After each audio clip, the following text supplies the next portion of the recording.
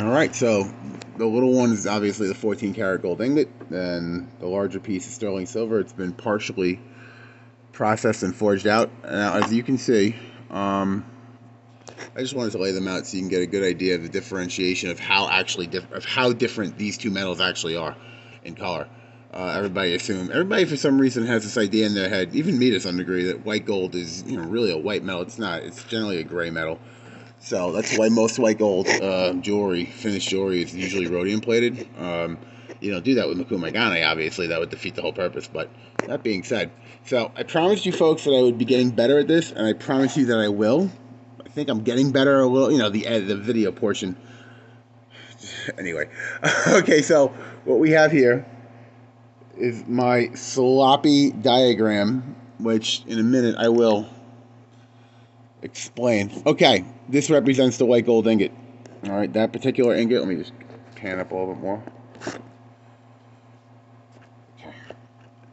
That ingot is about 18 millimeters long, and at its thinnest section, uh, you know, lengthwise, it's about six and a half millimeters wide, top to bottom, and at its thickest section, it is 6.85 millimeters wide. So, funny, right? We're gonna run it through the mill. This is just I don't even know why I put that in there. The goal here is to bring it from that to draw it out into a sheet. So here's how we're going to accomplish that. We're going to run it through the mill. We're going to take the jaws of the mill and we're going to lower them to as close to 6.84 millimeters as we can. The goal is to get, as you can see, there's some space between the top roller and the, and the ingot until it gets to its widest point. Once it gets to its widest point, I know that the that you'll wish it proportionately. Anyway, once it gets to its widest point, it'll stick in the jaws. So we're gonna stick. We're gonna we're gonna crank the jaws down of the of the mill, just to the point where the thickest part of the billet cannot pass through. That's the billet, the ingot. Most of the ingot will pass right through, as you can see, without being touched until it gets to the part that's 6.85 millimeters. That's where it'll get caught up.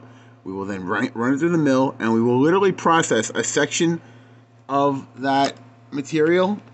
So when we're looking at it from the top, okay, so we've just run it through the mill, let's say. This is the top, this is the area that'll be flat right there. Just that. So when looking at it from a bird's eye view, it'll have a small, tiny little circle right about there. That'll be nice and smooth and, and flattened out. From there, we crank the mill down a little bit more, a little bit more every time. We keep flipping it over and, and, and running it through. That space will widen out. And eventually, it will become so wide that it encompasses the entire piece. That's when we have it uniform. From that point, we go to that real quickly. So, I'm going to give you a little, I'll show you a little updates as I go. I'm not going to show you the entire milling process because, I mean, an hour and a half of somebody turning a handle is, is not too much fun to watch. However, I'll, I'll intermittently show you the piece, uh, the, the metal as it comes out the other side, and you'll get to see it grow in real time. All right, so let's get that done now. Let's get that started.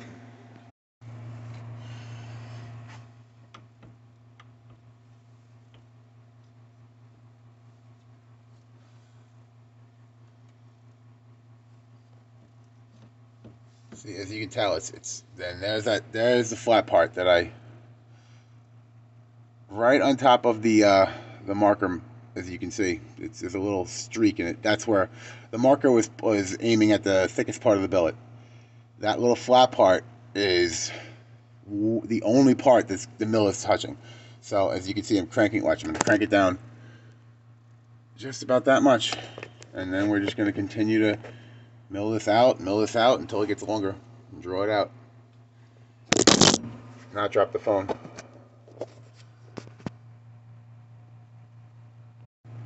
All right, first session is pretty much over. We're going to anneal it. We've got it milled out to that part, that point rather, and I'm going to be taking some measurements now, and we're going to get this going.